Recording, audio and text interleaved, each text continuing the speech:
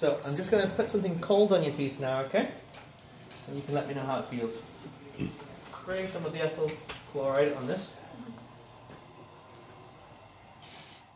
It is important to use a dry control cotton pellet. This will help to confirm whether the patient is actually responding to the stimulus.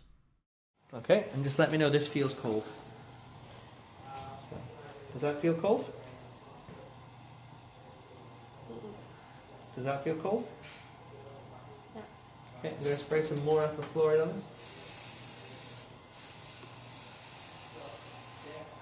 Okay. Does that feel cold? Does that feel cold? Does that feel cold?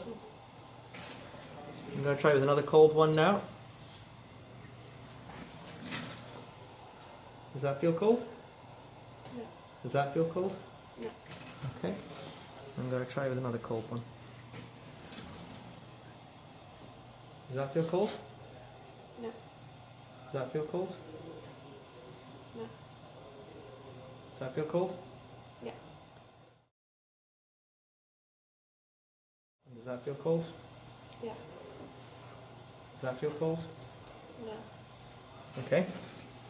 So, positive response to cold on the maxillary right lateral incisor and central incisor. No response to the maxillary left, central, or lateral.